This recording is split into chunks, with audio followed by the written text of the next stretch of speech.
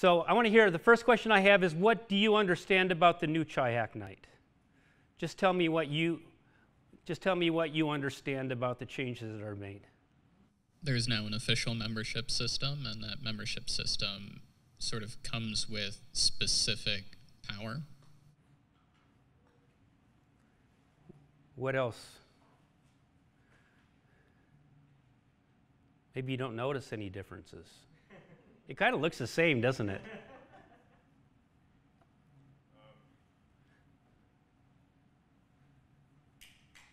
I think the language on the website is just a bit confusing. How the nav bar says join, and how is that different from attend? And so I'm afraid it might actually discourage people from attending if they think they have to join in order to attend. Ah, And so that's a great point. just just my just my first reaction how I saw it. Um, I think it's a great initiative. Just make it really clear on the website. Excellent. To that point as well, I know, like, I think I first found out about Chi Hack Night through Meetup, and I don't know if, like, does this still exist on Meetup.com? Never did. Oh, it never did. Okay. Okay, so apparently never did, but um, maybe that's maybe that's another way to get more people to come because I know people like it suggests different events on Meetup, and maybe that can like integrate with the website somehow. Great. Anybody else want to chip in on that? Thank you.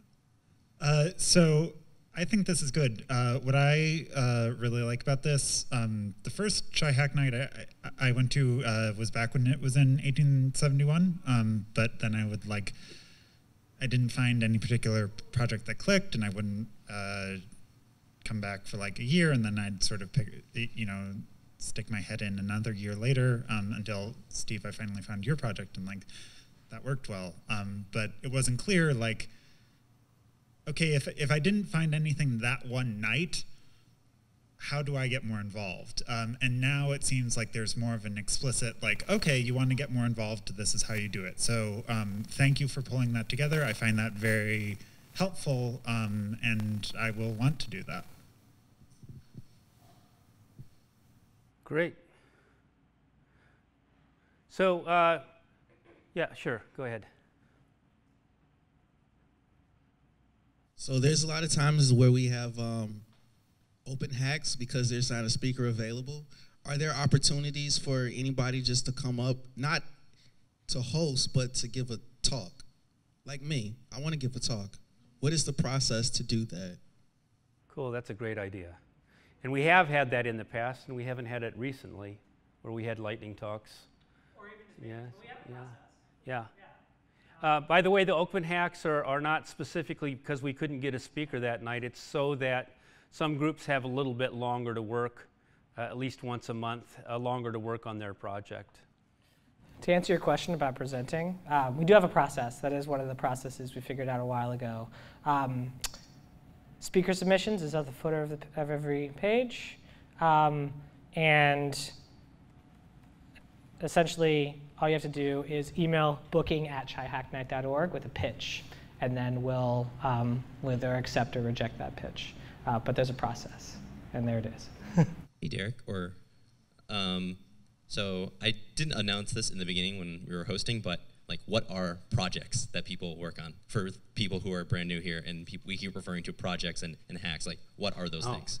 Well, there, uh, there are a lot of different breakout groups. Uh, there's one called Quantifying Justice that's doing some uh, web scraping of, uh, of criminal, criminal data, the, uh, sorry, the newspaper accounts of crimes, uh, and then comparing that to the, uh, to the police blotter about what actual, actual crimes were, uh, were reported to the police, uh, and seeing what the difference is and how that gets reported in the news. Uh, there are others. Uh, Tom Schenk did a uh, predictive analytics uh, uh, breakout group uh, that beat the EPA uh, predictive analytics for determining E. coli on a beach, um, which takes 24 hours to turn around. So if you want to shut the beach down that day, you are a day late. So, uh, and that improved the EPA hit rate by about 30%, I think. Uh, 60%, I'm sorry. Um, and for those of you who are new, um, there will be time at the end of this to hear breakout group pitches. Um, but it is also worth noting that Chi Hack Night does not dictate projects, and we haven't done that in the past. And, when I say Chi Hack Night, I mean the, the leadership of Chi Hack Night, the board of Chi Hack Night.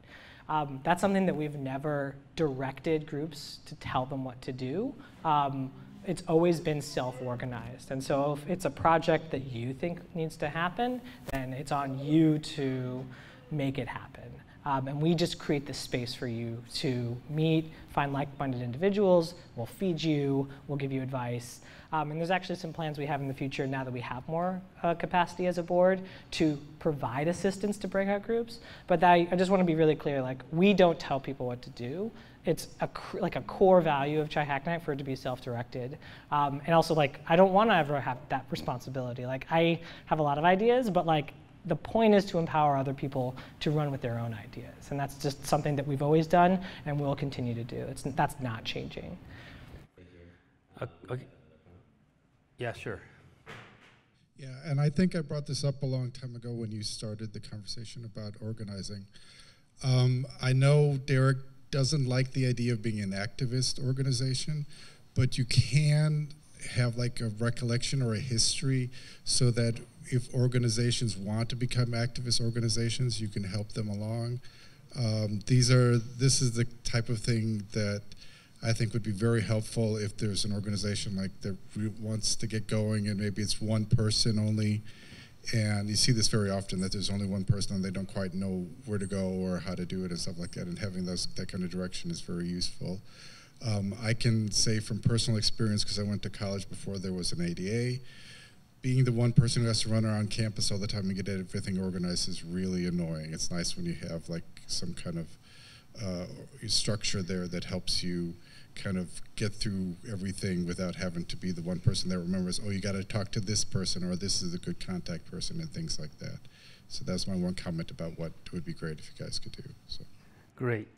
Uh, well, you notice that uh, we have board members here that are, that are crowdsourcing the notes here, so we are going to be taking this back and uh, dissecting it. Yes. Um, I have a question. It might be about language too. I'm not sure. So it's about um, becoming a member, and so the word is apply. So does that mean, in theory, or is it possible that you wouldn't, you would be rejected, or your mm. application, like you wouldn't? Well, it would be it would be possible because of the uh, the requirements. You have to prove the requirements, uh, but only because of that. It's not an exclusive organization, and you have to you have to score. You know you have to score 1200 on the SAT or something before you get it. But instead of join, join, you know, yeah, I suggests yeah. that it uh, is exclusive, maybe just to pick up on the, yeah, the language yeah. thing. But that's all. Thank you. Thanks. All right. Yeah. I'm going to was become involved. I'm going to skip this next question and go on to the next set of questions. What makes you feel positive about our new organization? It's my first time here, and I'm really happy to read the code of conduct. I think it's really thoughtful and I appreciate it. Thank you. Having been at that first leadership facilitation 18 months ago and then dropping off completely, it's nice to see that a ton of work has gone into this.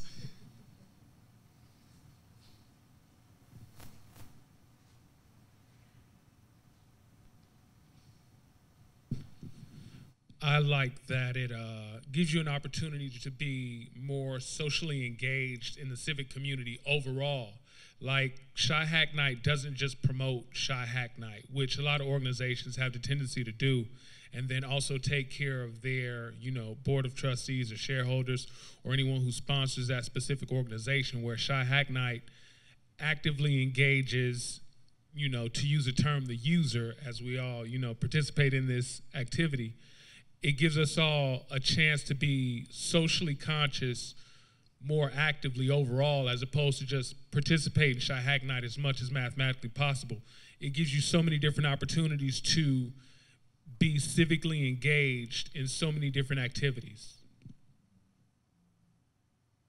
Right. Well, who else feels positive? Okay.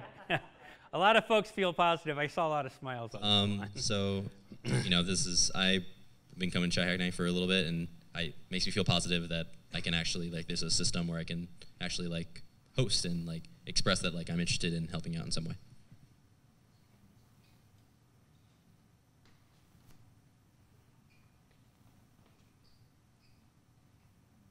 I'm super positive about the 501c3 status in particular. I think that's a really awesome step. So congratulations on that. And I know it takes a ton of work, and I feel like that it, it may open up opportunities for new kinds of partnerships with other organizations, either in government or other nonprofits, um, fundraising, of course. So I'm super excited about that.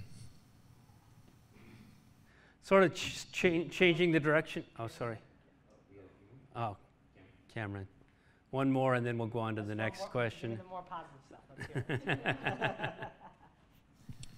um, so one of the reasons I feel really positive is um, so we have events where there's really high attendance, like um, the assessor data or 18F, um, but there's also a lot of interest and involvement when we're talking about um, artificial intelligence ethics for potholes in the city of Chicago, and I think um, that stuff happens at the ground level. It really is just people that are taking initiative on these fronts, and it's citizens. And I don't mean citizens like the formalities of being citizens, just someone who lives in the city. And um, that's really encouraging to see. And I think um, Chi-Hack Night has always been an incubator, not just of ideas that are coming together and being expressed and shared and talked about, um, but also um, I met a lot of really interesting people here um, who I'm very glad to know and to continue to know. And so that's one of the reasons why I feel really positive about um, the formal organization because I think it will help to further cultivate some of the things that I really appreciate about the organization and that I think other people have expressed that they enjoy. Good. Let's let's shift gears a little bit. Uh, how or what do you anticipate for the next year? What are you thinking about? What are you interested in? What is engaging you?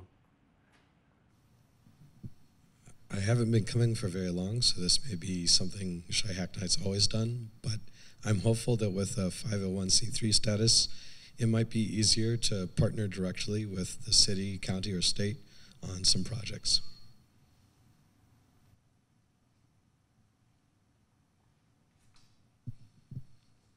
I came for the empanadas, I stayed for the community.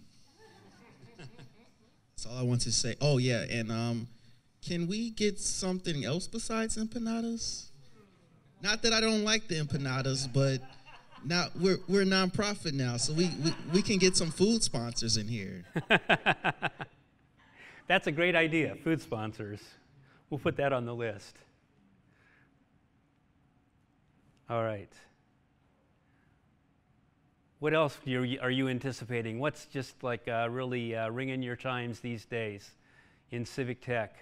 Yeah, um, I'm I'm hopeful that I think someone mentioned this that you know we can have more uh, great speakers and more diverse speakers and you know just or hearing back from people. You know, there's people that came and talked maybe four years ago, and maybe let's let's catch up with them, see like what's different. You know, how they it, did they do the thing that they said they were going to do, or did something happen? Did something get in the way? Did like what happened? And also, I like a little bit from from you from me too, and from the rest of the board about how are, are we defining civic tech? Right? Is it just anything that touches like kind of civic data. So, like for example, um, uh, would a psychiatrist who works at UIC, who um, works with you know homeless patients, and maybe doesn't do anything like tech wise, but like kind of understands the, the homeless system and, and understands some of the problems that they face. Is, is that civic tech? That, you know, that's more public health, I suppose, but is there a civic tech component of that, I suppose, or maybe you know the maybe a way we can help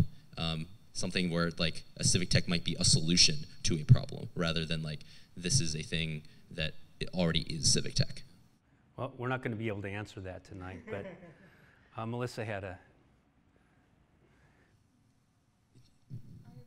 I have no hearing sense, so I can't hear myself. Um, what I would like to see more is accessibility because I know I've mentioned that today a few times, but um, especially the area where where the the governor, the last governor, not the new one, but the last governor shutting down a lot of um, now the organization was shut down because of um, the budget cuts and everything. The one new organizations out there have overcome those budget cuts and what they're doing now and what they and then we're collaborating with them because you know people don't talk about adaptability now. Adaptability now is a new hot word in tech, but I think we should do definitely do more of that stuff. Great. Anybody else? So, uh, given our new situation here, the new Chi Hack Night, uh, what feedback do you have for us? What do you want to see put in place? Some more documents about the leadership structure and the new organization structure would be great to see on the website. Like, I don't know whether the Leadership Council is still a body that exists or if it's been completely absorbed by the board or how any of that works now.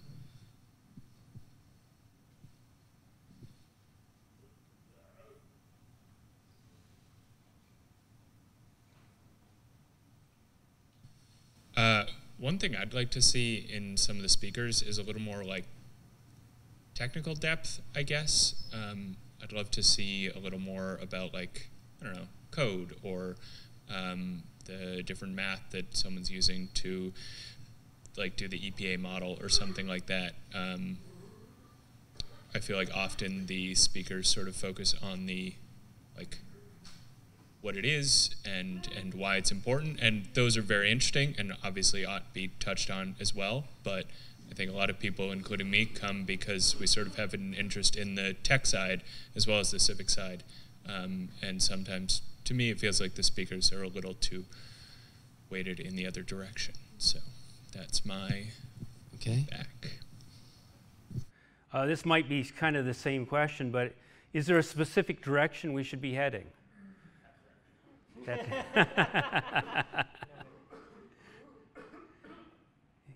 Is there a, uh, you know, a specific actions that we should be taking? Are there specific speakers that you want to be hearing from? Do you have ideas? Lori Lightfoot recently won the election, first black woman, and she's trans intersectional because she's also part of the LGBT community. I think that's very important as a mayor.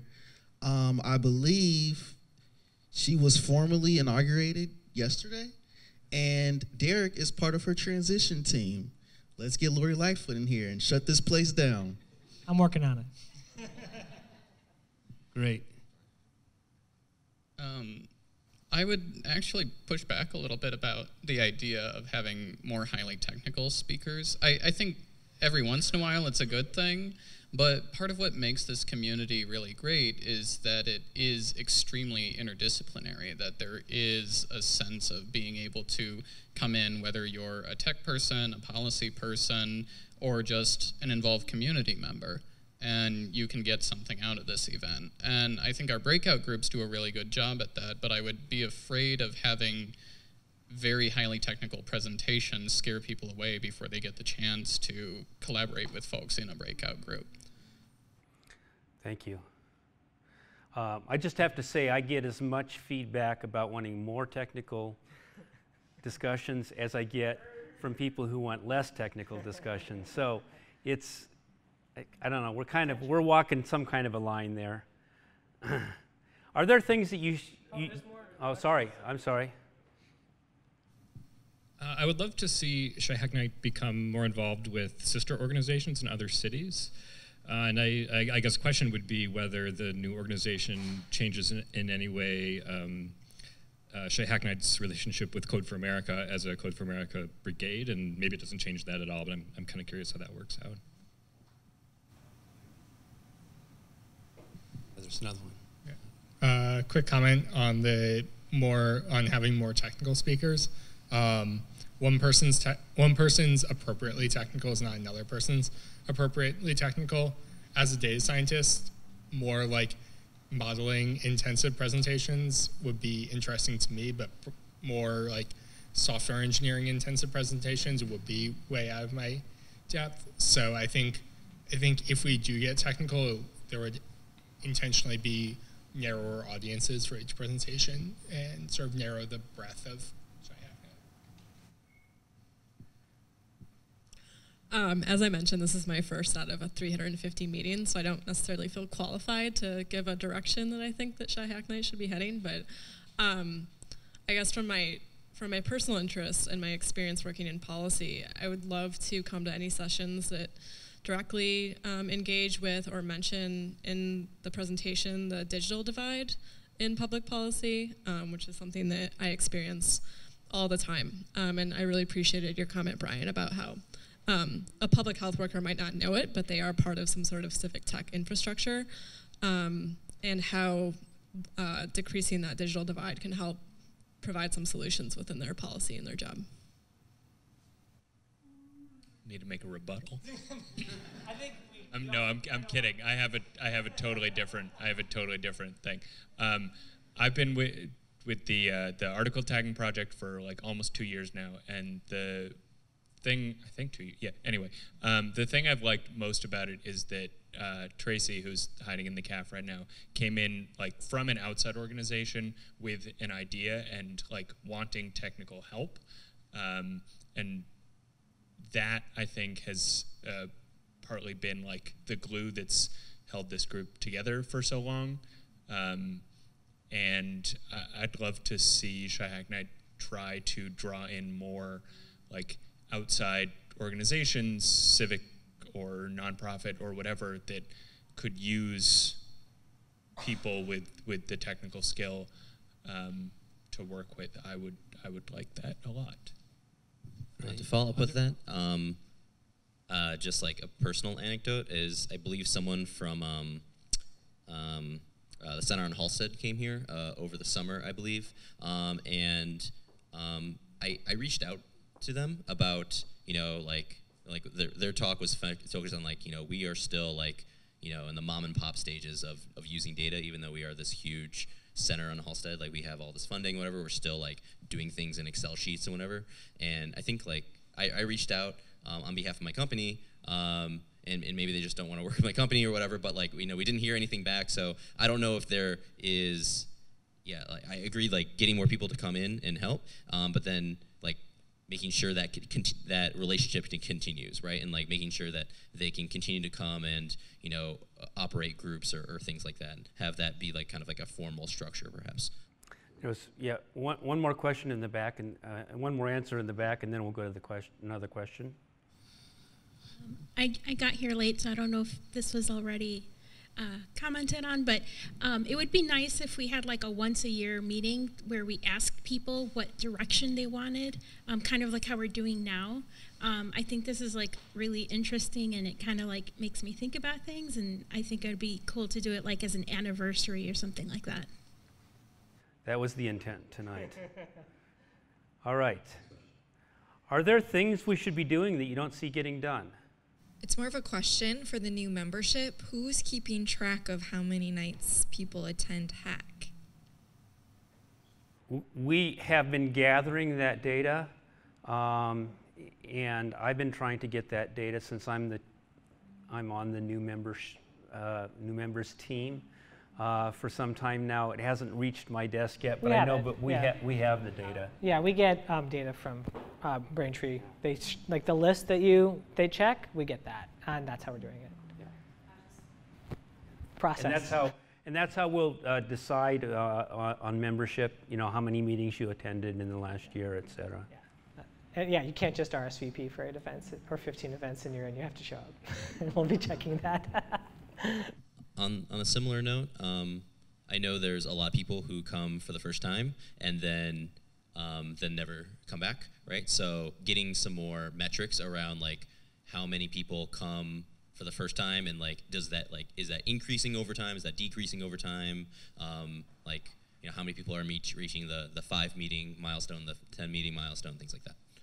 Yeah, yeah. We uh, we've sort of had an ad hoc approach to this so far, but uh, now with tonight, we've got the everything set up finally, and we're going to be uh, we're going to be doubling down on getting that information and recording it. hmm Oh, and just a comment, uh, a comment about that. Um, we want you to, if you want to apply, apply now. Please do. Um, the moment when it will actually like solidify into something like a, a membership body is going to be in January of next year, right? That's when we're going to have our first general meeting as a as a membership, and that's actually when our first um, round of elections will happen as well. So essentially, we're in this sort of interim period where folks are applying to become members, and then we'll be sort of uh, in this sort of pre-membership state until that moment in January when all of a sudden it's like, okay, who's who actually meets the requirements? What's our membership? And then that membership will exercise its its power. Um, so we're in that sort of state be- between now and January.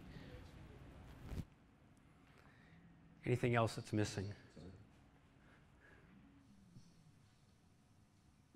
This is one that I know has come up many, many times over the years, but different ways of supporting breakout groups more formally and giving them resources to be able to recruit members, retain members, have successful projects, things like that. We do have a breakout support group that's, uh, that's gearing up right now. Yeah, One point that I did want to add, just as context, is um, part of the formalizing of the organization includes um, board committees that have um, as their goals advancing on some of these particular areas. Um, and it will be our job to make it more clear how to work with or communicate with those committees. This is part of that. Um, but I just wanted to provide that as uh, context.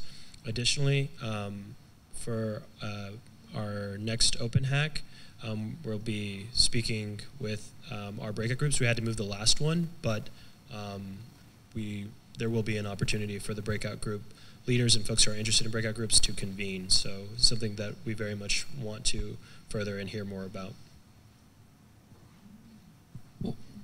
Yeah, Jonathan. On the membership side, if we do apply, when when do we when should we expect to hear feedback? Is that not till January, or is there going to be something saying, "Oh yes, you're a member," and then will there be will there be cards? uh, yeah. I'm going to work as soon as possible to actually, you know, call if, you know, if the candidate, candidate or people who apply. Um, and also, I'm looking for maybe a designer to design a Chi Hack Night membership card. That'd be great. um, one more, and then we need to move on.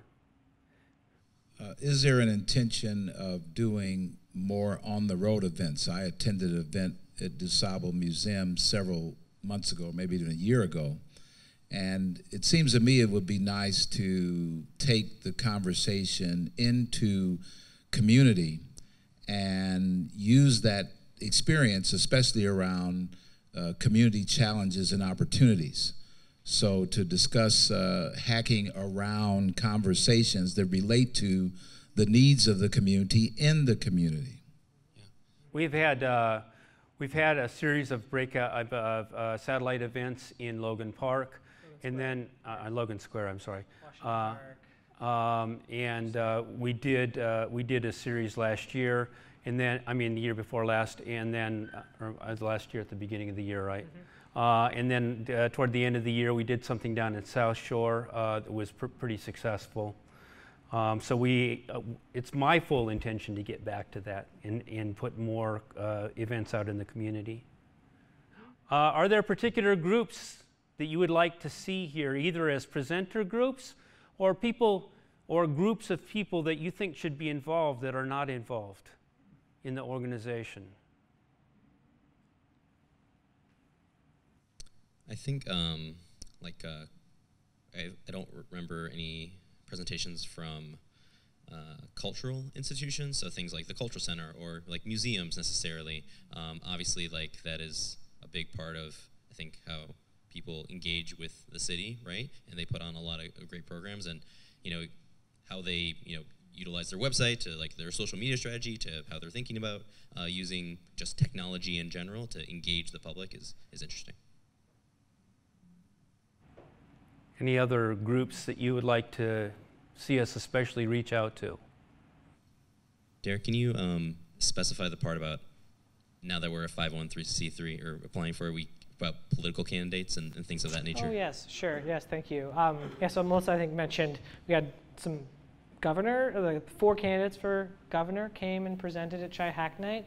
The way we did that um, uh, then, before we were a nonprofit, is actually the way we would do it going forward if we did do it again, which is we sent an invite to all candidates for a particular race and give them all equal opportunity. That's like the key phrase in nonprofit world that the IRS cares about is equal opportunity. So you can engage in a political um, uh, way, but it has to be uh, done so in a way that it doesn't give one particular campaign favoritism. And so uh, we would do, if we did do that again, um, which I will say the governors coming to speak were like the biggest mixed bag as far as reaction. Like some people loved it, some people were like, don't do that again. Um, so like there's a question about whether we will, but if we do, um, that's how we would do it, um, and we can if we wanted to.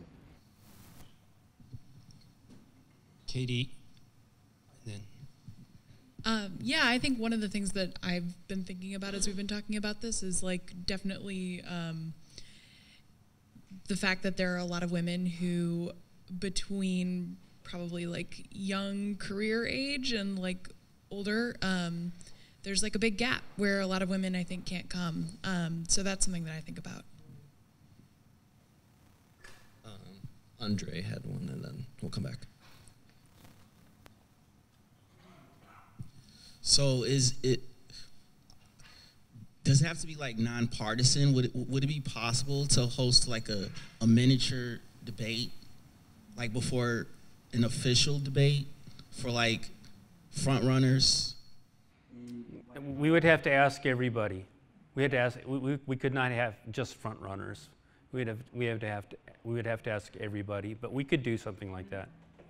Hi, um, so this is my first time attending, so this is, I'm just kind of taking it all in. And I was checking out your website, and I see that you guys already have some projects that, that are in the lines. Do you have a, a, a quota or how many projects you can take for the year? Um, and what's, what are the requirements of getting those projects approved? And then my second was, um, I, I also saw the social media, and I'm not seeing that much engagement on there. So it's a goal to get more members part of this, because um, I think social media would be a great avenue of like doing live streams and getting more engagement from people in terms of whatever work you're trying to achieve over here. Uh, to the first part about uh, breakout groups and projects, uh, we'll be going over kind of like what breakout groups are right after the presentation and um, there, I don't think there are any. There are no limits. Um, I think we, we addressed this slightly earlier, but do you want to? Oh, um, yeah. I'll just quickly. Yeah, I mean, it's it's self-organized, so we don't dictate or, or limit or restrict or uh, anything as far as like what breakout, what and how many breakout groups happen. Um, so yeah, it's it's very much self-organized. Uh, as to the part about social media, um, we definitely can always uh, use any advice that you have on it. One of our subcommittees that we started is the social media subcommittee. And so you can come talk to me if you have any suggestions on how we could be doing things differently. Anyone else besides Andre before? You already went, you already talked a lot. Anyone else? No? Okay. So I am a member of 1871, and before today, I had no idea that you guys used to be in there. So that was news to me. Um, I think it will be beneficial since they're in the same building to have a lot more uh, partnerships and collaborations between between them because I go there a lot and they have great uh, investment pitches and uh, investors and they do a lot of um, entrepreneurial workshops and that's something that we could definitely leverage as our community um, and get some of those pitches here. So, um, and not just 1871, but the uh, the connectory as well, because they're another incubator who focus more so on the IoT. So, I would like to see that. Great. Well, we have time for one more question, and I'm going to ask you to, uh, if you answer this question, please state your name and the reason I want you to state your name is because this is a question about where the rubber meets the road. We're really trying to uh, engage folks, and if you have an idea, we want to touch base with you on that idea and see what you're willing to help do to help uh, get that idea implemented. Uh, but also check back and make sure that you that we understand what you're talking about. So, what are you interested in working on to make these ideas happen? All of these ideas that we've been talking about? I can kick it off. Um, Yeah, I'm, I'm definitely interested in just more operational things. Uh, Emily uh, Drevitz, who normally does emceeing, uh, had like a breakout group last time about this, and I think we had like a bunch of ideas and just getting more organized around that. I th- we took some steps in last week and just keep moving there. Brian Barrand is my name. Thank you, Brian. Anybody else? What would be the next steps you would take in, in helping us with your idea? Okay, this isn't a next step. This is Bruce Paul. Um, but it's an idea I had because I was talking about the activist stuff. Uh, having a grant writer or somebody who does that kind of stuff so that if there's an organization that wants to work on getting funding and stuff like that, somebody who had, like, again, this is the idea of having a knowledge center, having some kind of history, having an institutional history, and those kind of things. That's, that's the idea that I, I was having.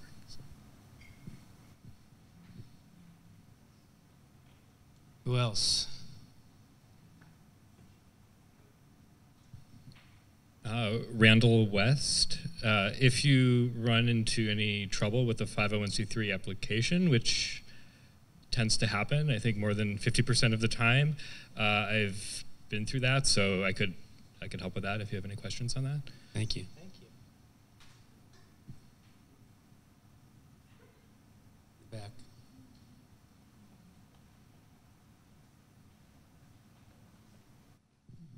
Uh, the name is Bruce Montgomery. Uh, if there's an idea to get broader public acceptance of uses of technology and or apps that would drive uh, adoption and use cases, um, maybe something like a, a Chi Hack or, or civic hack backpack, something that would suggest that these are some apps or applications or uses of data and technology that could benefit everybody that is a resident of Chicago. And so to promulgate that notion, uh, saying that this group that's been meeting for years thinking about highest and best uses of uh, data and apps that could benefit the broad constituents of the city, that we could have an effort to uh, promote that broadly and have kind of community based exposure parties for this kind of thing, then uh, I would be willing to help uh, configure such a uh, activity and to promote it in a number of communities that I may have access to so that there could be um, broad exposure to these things beyond those people that perceive themselves as tech related and try to get some real uptake for apps and and and the, goal is to get people to be more engaged about using their access to this way in ways that could benefit and uplift uh, some opportunities of people being smarter and using this in, in general ways. What he said. Anybody else? Going once, going twice. We're going to give you more. Oh, I see one back there. Thank you. Hi, my name's Samantha Evans. Um, I have something that kind of like bridges um, like the idea of like amping up like social media but also providing resources to people. If we could do something where it's like featuring like because i know we have like a page that um, features like the successful projects like mrelief and others. So maybe something that um, like like once a month like either is like a a live conversation or just like um, something with like someone who's like actually continuing their work outside of Hack Night and like featuring that on um, social media. Um, that's something that could also, you know, people who are still like the breakout groups that are still working within Hack Night could use that as a tool or uh, something like a resource like moving forward. I know you had mentioned earlier you wanted to implement a breakout. Tell us your name. Oh, Megan Kraut um, a breakout group for breakout group like leaders. to learn more leadership skills. I think building on that, it might be helpful to maybe have a Slack channel that groups the different group leaders together to bounce ideas off of each other if they can't attend that meeting. And maybe be like, hey, I'm having a problem with this, or we can't get our work pushed out. What are some things that like y'all have done that might work in the past, and just to bounce ideas off of each other? Excellent. Brian, I think you get the last word. Okay. Just to continue on this conversation, right? So being able to either edit this doc directly or just like, you know, some sort of easy Google sheet. Obviously, like you can always email the website or email whoever, but like then you don't get to see like where that goes, right? It might just go into like a black box. So being able to like see all the other ideas and and just like continue to, to comment on this as people think of more ideas or they you know they're at a party and they talk to someone who they, they might be interested and they're like okay let, let's like write that down right now before I forget things like that. Great. We will, uh, we will open this document up um, and let the community uh, take a stab at it. Continue to, continue to have this conversation. We have many, many more conversations like this. And uh, whoever said once a year, yeah, at least once a year. But we want to give you an opportunity to get involved, to, uh, to ramp up to leadership, and uh, to make this Chi Hack Night really super fun and super productive in Chicago and very meaningful. Thank you so much. We really appreciate your participation tonight.